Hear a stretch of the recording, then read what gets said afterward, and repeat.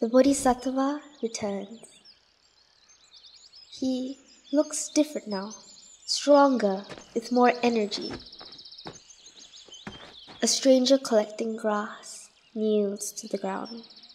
On his knees, he offers the Bodhisattva a bundle of grass. Heavenly angels start to sing. Purple water lilies and other flowers fall like rain from the sky. There is smell of incense in the air. I can see strength in the Bodhisattva's eyes as he comes near me. He looks around and sprinkles some grass on the ground. Magically, a wonderful seat appears. The Bodhisattva sits down with his legs crossed, facing east where the sun will rise. Angels celebrate with more singing, and the forest looks beautiful. Suddenly, it becomes dark. Blackness is covering the sky. A lightning explodes and shakes the ground. A terrible voice screams out. So this Prince Siddhartha wishes to escape from my world? He will fail. All at once, heavy rain pours the black sky. My branches quickly reach down to protect the Bodhisattva, but he's not afraid. And magically, we are not wet from the thunderstorm. More terrible sounds scream out from behind the curtain of rain.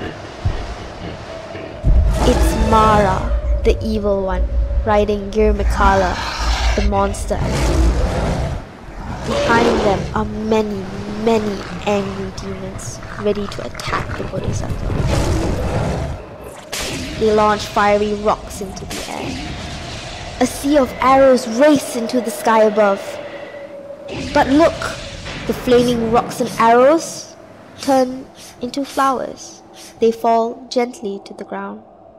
The demons rush forward to attack with their swords and their axes, but their weapons turn into flowers too as they fall to the ground. Mara punches into the air, shouting, Get up! You cannot sit there! I am king! I give people all they desire. I am the giver.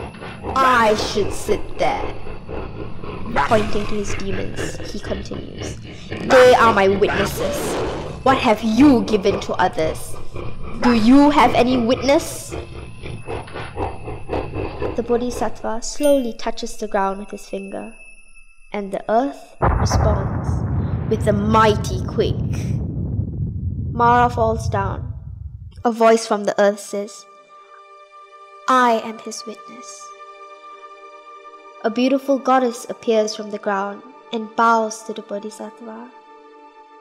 She says, Yes, I am Mother Earth, and I have seen in his previous life a hundred times, a thousand times, his hands, eyes, head, and his entire body he gave to help others.